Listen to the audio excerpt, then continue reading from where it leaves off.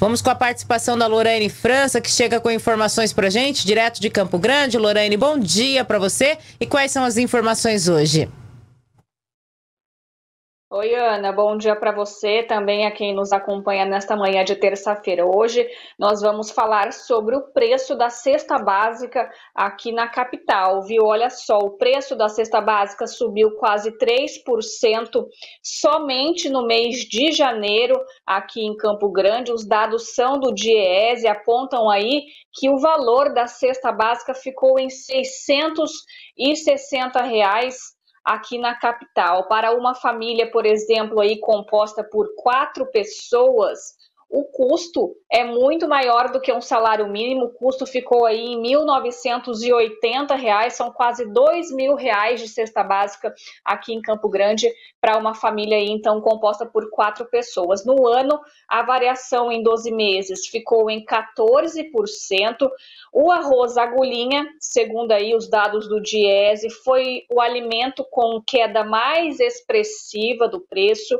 O quilo do cereal é comercializado a R$ 4,30 aqui em Campo Grande, em média, e a redução no mês de janeiro foi de 1,6%. Outro alimento que registra também aí uma redução é o leite de caixinha, mas é uma redução bem baixa, 0,2%, é pouco significativa.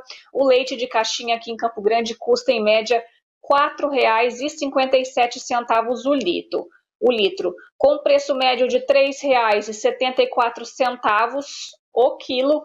A batata é a grande vilã neste mês de janeiro aqui em Campo Grande, viu? É, teve uma em dezembro, mas agora em janeiro voltou a subir e subiu 16%. É o item com a maior variação de preço no primeiro mês de 2022. Também registraram, registraram alta de preços o tomate, o café em pó a banana, o óleo de soja, a manteiga e o nosso famoso aí pãozinho francês, viu? A jornada de trabalho necessária para que uma pessoa aí consiga adquirir uma cesta básica em janeiro é de quase 120 horas.